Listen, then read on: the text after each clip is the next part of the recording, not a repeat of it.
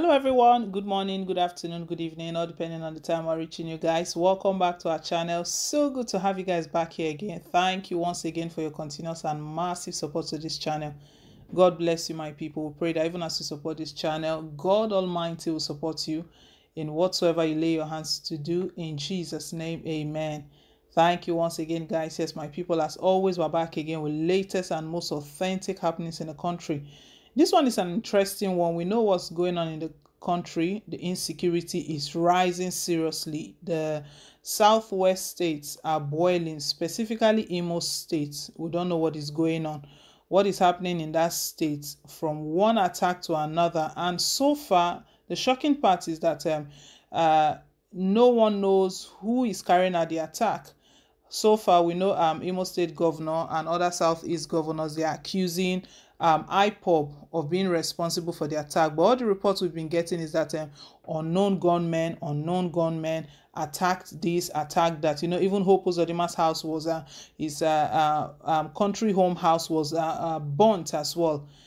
The interesting part right now is that uh, senators um, right now they've stated that as Buhari supporters they can no longer keep quiet. This is not the time to keep quiet. Something is wrong. Something is fishing somewhere if um, the insecurity is rising and the president is not making any move, not taking it serious, and they've stated that they can no longer keep quiet. We'll bring you all of the details in a bit, guys. But before we do, please don't forget to like, share, and to subscribe. Thank you once again. The senator representing Kogi West Senatorial District on the platform of the All Progressive Congress APC in the National Assembly now, Senator Smart Adeyemi has said supporters of President Muhammadu Buhari cannot keep quiet over the security situation of the country. Senator Adeyemi stated this on Tuesday while debating a motion moved by Senator Sani Musa on the activities of bandits and Boko Haram terrorists in Shiroro and Rafi local government area of Niger State. He described the present situation of the country as worse than civil war and that President Muhammad Buhari must rise to the occasion and bring in people to save the country or else Adeyemi said everyone will be consumed. Insecurity is a serious problem today in Nigeria, and there comes a time we cannot but speak the truth. Today, all of us have been threatened. We need not run away from the fact that this is the worst instability we are facing. In fact, this is worse than civil war. The answer is very simple. We cannot pretend that we are capable of confronting the issue we are facing. Let us shout and call for foreign support. The president should know that we as supporters can no longer keep quiet. The nation is on fire. The president must rise to the occasion and bring in people to save this country or else we'll be consumed. We cannot keep quiet any longer. It has gotten to a situation that we cannot sleep with our two eyes closed. Our security system has collapsed and because it has failed, we need to look for foreign support. The president must know that this is a bad time for our nation. Let us shut down this National Assembly if we cannot save this country, the Kogi senator said. Contributing to the motion, the APC senator representing Osun Central, Senator Ajibola Bashiru, who is also spokesperson of the Nigerian Senate, said the Nigerian police force is incapable of securing the country as it is. Senator Bashiru, who is also chairman Senate Committee on Media and Public Affairs, argued that there was need to recruit at least 5,000 security personnel in each state of the Federation. As at today, the Arts Police Nigeria is incapable of securing the country. It is only important that we need to come up with a mature plan to address this issue of insecurity in Nigeria. And in minimum, we need to recruit at least 5,000 security personnel in each state we should stop lamenting as a National Assembly and take actions, he said.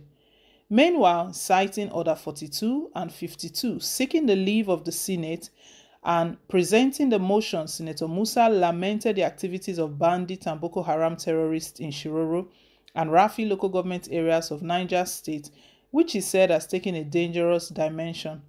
The issue is not just Niger, it's all over the country. My observation is what is so wrong in our system that makes us not to respect early warning signals. In the last 10 years, there have been several reports that has given us indications that Nigeria may be entering into a situation that we are describing now.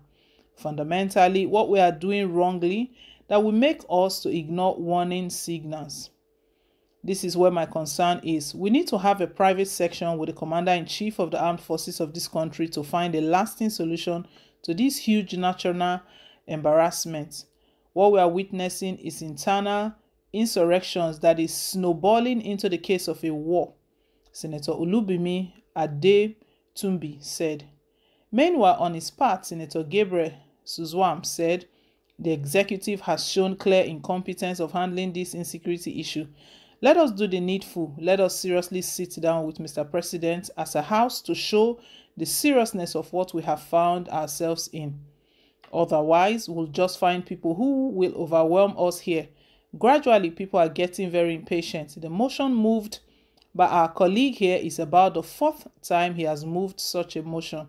Let us have an executive session and frankly discuss this thing so that we can frankly talk and come up with solutions so that we can save Nigeria. Also, Senator Biodun Olujimi said, I believe we are all tired coming here to talk about insecurity, kidnapping, and all the sorts. We must know what government wants to do about insecurity, and this Senate must insist and find out what they want to do. However, Senator Seriake Dickson blamed the issue be wheedling the nation on a faulty constitutional structure, stressing that the challenge the nation is faced with is a challenge of leadership. He said, I'm impressed that we're looking at issues passionately as we ought to. Right now, there's also loss of faith in Nigeria dream, project, and vision. This is why some of us, including myself, have taken the position that all these issues that are bewildering us is a product of the faulty constitutional structure.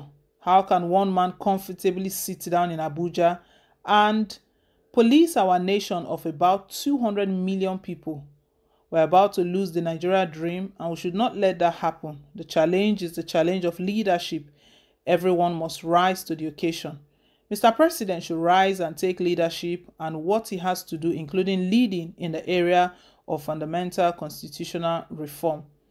President Muhammad Buhari is not ready to, to do anything. All he's after is uh, to see this country going down because the country is boiling. Up till now, he has not even uh, um, um, given a speech he's not come out to reassure the country or speak about um, the situation. The country is in crisis. Imo State is boiling seriously, not just Imo State, all across the country.